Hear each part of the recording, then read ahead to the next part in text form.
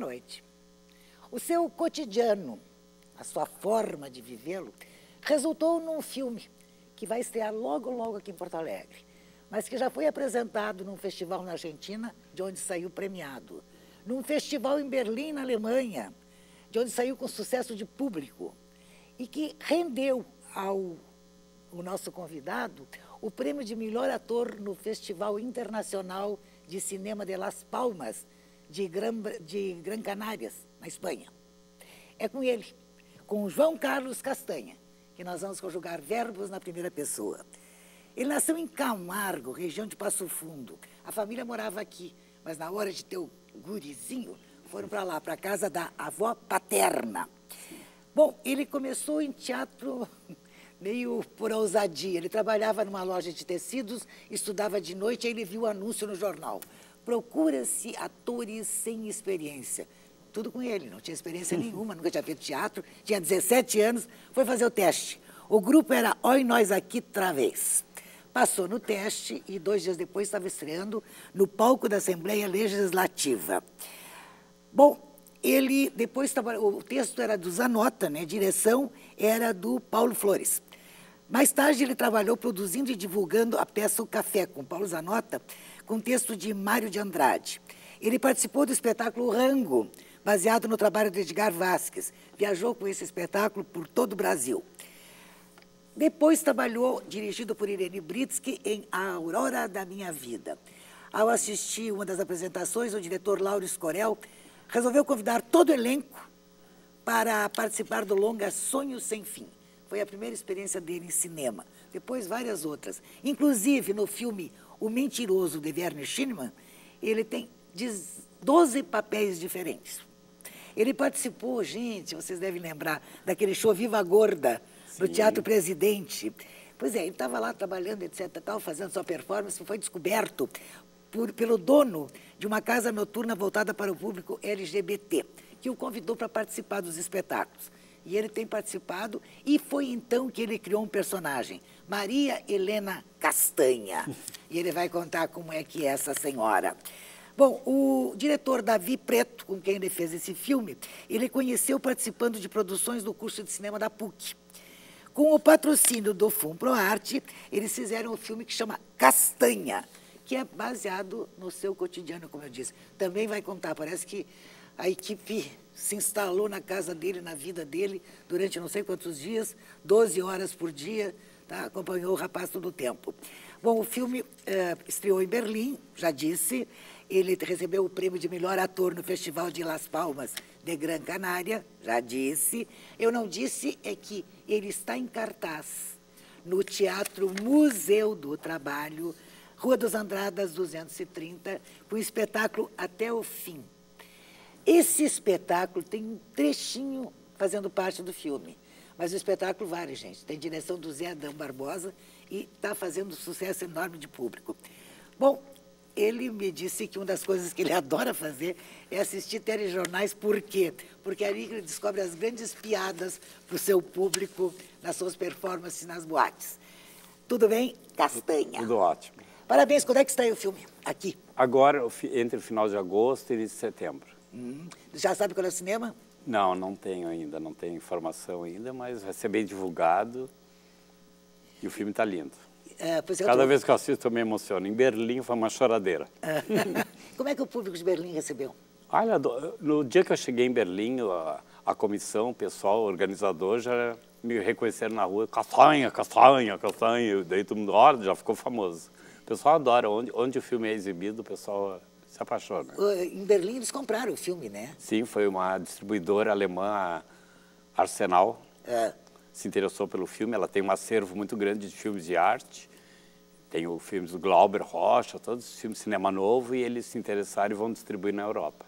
Tá, e o teu filme aqui no Brasil vai ser a primeira em Porto Alegre. Porto Alegre. Tá, mas o projeto é mostrá-lo. É, o, eles, o, o que eu gosto do Davi, do, da produção do, da Toque Filmes, é que eles não fazem filme pensando, ah, vão fazer um filme para exibir em Porto Alegre e morre por aí. Não, eles fizeram um filme, eles pensam o filme para o mundo. Então, o filme estreou em Berlim, já passou por Nova York, passou pela... foi agora Uruguai, é. Argentina, vários festivais, estreou agora em Paulínia, uhum. São Paulo. E é assim, o filme está correndo o mundo e, e, o pessoal aqui em Porto Alegre está louco para assistir, né? Mas eles, não, vamos fazer o filme ser reconhecido. Ser... Como é que aconteceu esse filme? Tem, tem roteiro ou simplesmente eles foram improvisando em cima do teu dia a dia? O Davi, quando ele me convidou, ele, eu fiz um filme com ele, Quarto de Espera, em 2008, 2009. Daí ele não me conhecia, né? A, a professora da PUC, a Queta, é. ele perguntou quem é esse cara. Dela, ah, não, ele é, um ator, ele é um ator de teatro, já fez vários filmes e trabalha em boate GLS. Ele achou curioso isso. Uhum. Eu fiz o um filme, daí um dia ele me ligou e disse, olha, Castanho, eu queria saber se tu aceita, eu estou escrevendo um roteiro sobre a tua vida. E eu falei para ele, mas o que que tu tem para contar da minha vida? Uhum. Ele, não, não, vamos, mais adiante a gente conversa. Daí passou um tempo, eu não sabia, eles tinham entrado no FUNPROARTE, uhum. tinham ganho, e daí ele disse, olha, ganhamos FUNPROARTE, vamos rodar o filme. Daí ele ficou três meses na minha casa, indo quase todos os dias, conversando comigo, com a minha mãe, me acompanhando nos lugares que eu trabalho, na, nas casa, na casa dos amigos, nas Mas não teatro. é um documentário. É, é, é um filme sobre... Eu não sei, ele, como o David diz, não existe essa separação entre ficção e documentário. É um filme sobre mim, assim, então tem coisas que pode ser ficção, tem coisas que as pessoas dizem, não pode ser verdade isso. É.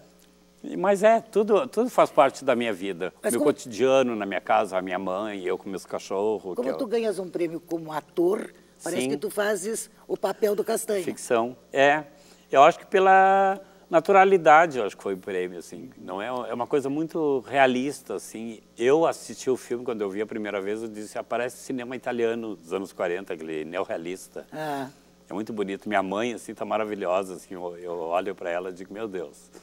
Tu moras com a tua mãe? Moro eu, minha mãe e dois, e dois cachorros e dois gatos. E eles se dão bem, os cachorros e os gatos? Não, os gatos ficam na, na área de serviço e os cachorros na, pela casa toda. Na sala? Os cachorros têm prioridade Meu cachorro devora, o cachorro devora, é um pincher. É. Curioso, o Joaquim. Uhum. Mas ele tem prioridade, ele ganha a sala. Ah, ele é o meu, meu, meu neném, meu bebê. Bom, tu, no filme, tu colocas uma cena do espetáculo que ainda não estava montado. Como é que, como é que tu fizeste isso? É o Zé Adão já entrou na história? Na entrevista, na entrevista, quando o Davi ficou lá em casa me entrevistando, eu mostrei para ele o roteiro os, os, que eu tinha da, da peça e ele se apaixonou pelo roteiro. Ah. Ele disse, como, a tua vida tem que ter esse espetáculo. Daí, no decorrer das filmagens, o Davi disse, nós vamos ter que criar um evento, vocês vão ter que fazer uma montagem, que ainda nem estava cogitada a montagem, como se estivesse estreando a peça para a gente inserir no filme. Uhum. E aí a gente fez, todo, fez toda a produção, né? E fizemos uma, um pocket de 15 minutos, com plateia, tudo. E já foi dirigido pelo Zé Adão esse? Dirigido pelo Zé Adão, que quando eu comecei a escrever, antes mesmo de eu, eu, eu decidi eu estar fazendo Adolescer, a peça, hum. que eu fiz por cinco anos, eu, eu, trabalhando com 12, 14 pessoas no elenco, eu sinto necessidade, de vez em quando, de ficar sozinho no camarim. Ah. Por melhor que seja o elenco, assim, e a gurizada eu adorava o, o elenco jovem, assim. E eu sinto necessidade de estar sozinho num camarim. Daí eu imaginei, eu vou fazer uma peça, assim, escrever alguma coisa. Daí comecei, eu gosto muito de cinema. Daí eu tenho um monte de DVDs, assim. Daí eu assisti um filme chamado Blue, do Derek Jarman, hum. que é um documentário sobre a vida dele mesmo, que ele fez. E ele morreu de HIV. E ele, quando ele dirigiu esse filme, ele estava cego.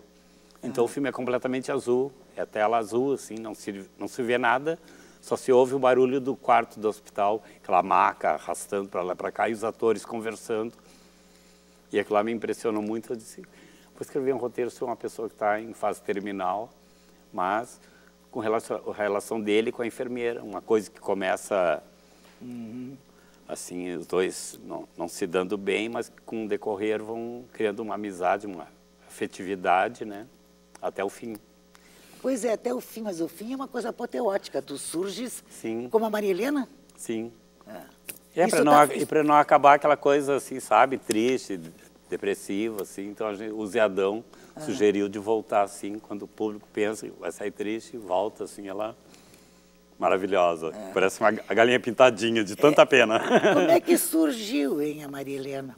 Ah, anos atrás. Antes da Maria Helena tinha a tal de Maria Aparecida, que era uma doméstica também que eu fazia. Daí, com o tempo, eu fui pensando, não, fazer uma coisa mais chique. Então, e o nome Maria Helena Castanha parece nome de senhora da alta sociedade, né? É. E daí foi, foi surgindo, foi surgindo, foi ficando um personagem forte na noite porto-alegrense. E é o que eu uso até hoje. E é ela que, é com a Maria Helena que tu te apresentas nas boates? Sim. Mas, em geral, em boate, eu, eu nunca tenho um personagem fixo. Eu faço personagem masculino, faço criança, faço Chaves, de repente faço a Xuxa, não tem isso.